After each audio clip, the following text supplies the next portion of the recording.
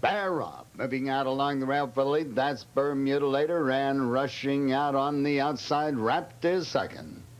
Moving around the upper turn now out in front, opening up a two and one half length lead. Bermudalator wrapped in second place. Wilco's Index is third. Down along the rail, Bold Harbor is fourth. Moving up on the outside, that's Rough Justice fifth.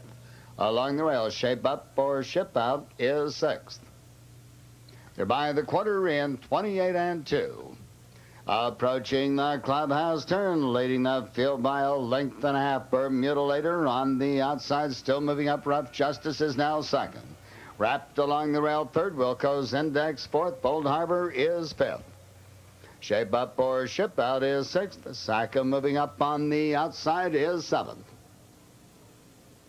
Out of the turn and into the backstretch along the rail, Bermudalator and on the outside, still challenging for the lead, Rough Justice. Down on the rail, Wrapped is third, and on the outside, Wilco's Index is fourth.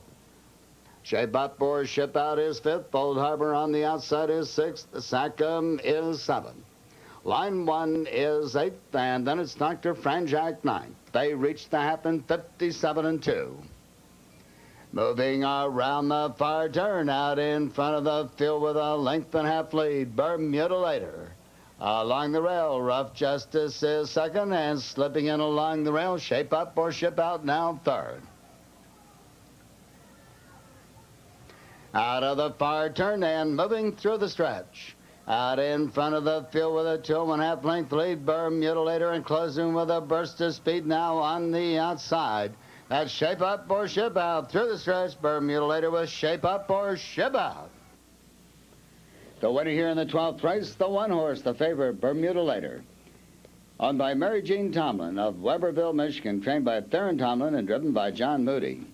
The winner paying $15.560. 460. second horse, number three, Shape Up or Ship Out with Meridoki, 1420 760 Third horse, number nine, Sackham with Keith Crawford, 760 Finishing fourth, number two, Wrapped with Kevin Wallace.